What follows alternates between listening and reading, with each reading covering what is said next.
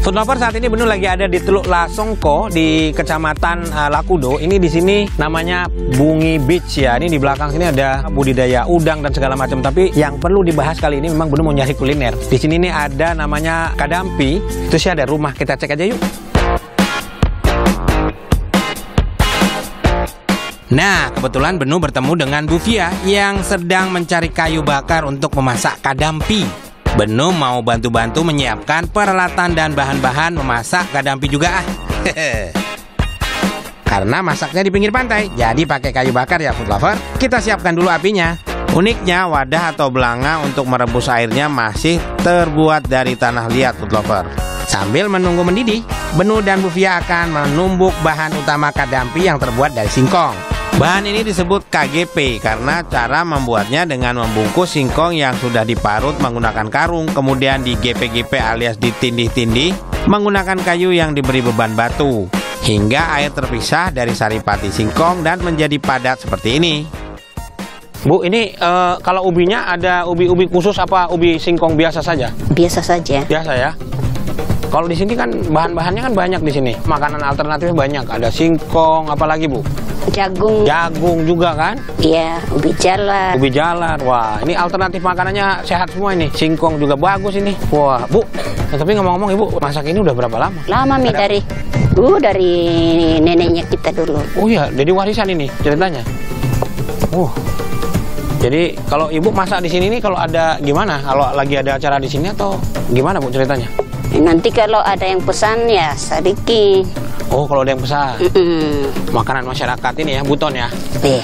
Ternyata ini bukan kaleng-kaleng karena apa? Ini kan singkong ya. Di singkong tuh gampang ini ngolahnya nanti. Tiap wilayah pasti ada olahan dari singkong ya, Bu ya. Ada yang dijadikan kalau ini ada timpannya dari, dari ini yang dibungkus daun pisang. Kalau di sini, di sini nanti pakai daun pisang juga. Ini ada daun pisang. Itu daun pesannya.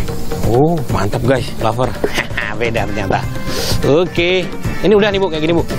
Lagi haluskan lagi. Halus lagi. Mau lama ini.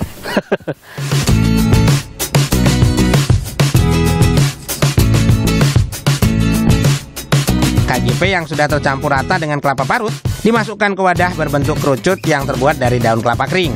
Di setiap lapisannya akan ditambah gula merah yang sudah dicacah untuk memunculkan rasa legitnya. Setelah itu, masuklah pada proses pengukusan. Tidak hanya cita rasa dan cara memasaknya saja yang unik, kudapan tradisional khas Buton Tengah ini ternyata pernah mencetak prestasi di ajang API, yaitu Anugerah Pesona Indonesia Award dalam kategori makanan tradisional pada tahun 2021. Saat itu Kadampi meraih peringkat 4. Wow, mumtaz.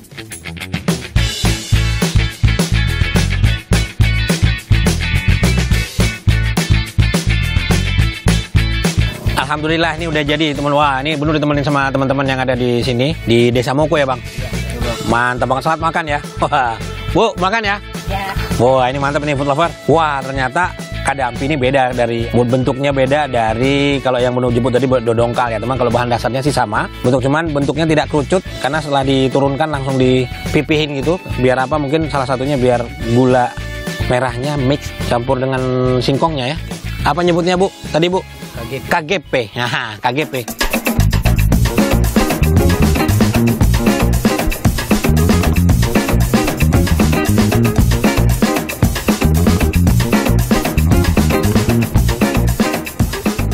Oke, silakan Bang. Selamat makan. Masya Allah nih, food lover. Cantik banget ya nih lihat nih. Wuh, pecah men. Masya Allah. Ini. Wah, bismillahirrahmanirrahim. Hmm. Mantap. Food lover, ini memang singkong yang diolah sedemikian rupa yang diperas saripatinya dan digunakan di sini ampasnya ini ketika dimasak dimix dengan kelapa ada pakai gula merah juga di setiap lapisnya dikasih gula merah Masya Allah ini gula merahnya yang luar biasa banget dia tuh cair di setiap lapisnya jadi rasanya Masya Allah mumtaz pecah ini hmm. mantap mantap guys minum yang berdua